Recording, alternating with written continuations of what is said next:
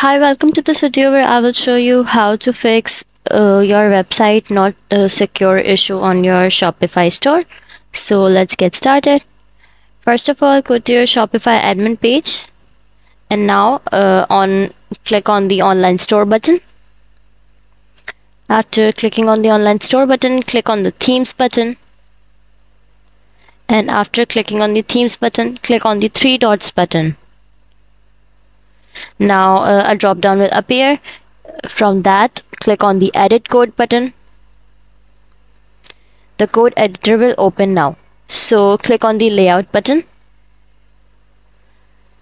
And now after clicking the layout button click on the theme.liquid button. After that uh, you have to paste the copied uh, following link following code here. For that search slash head tag.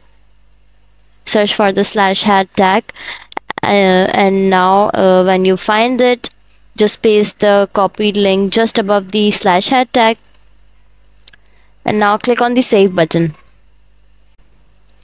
So after that your connection will be secure and that's how you will fix website not secure uh, issue on Shopify Please note that uh, if you apply for SSL certificate, it will always take 24 to 48 hours to get verified and show the connection is secure in Shopify. That's all for this video. If you find this video helpful, please like and subscribe to this channel and thank you for watching.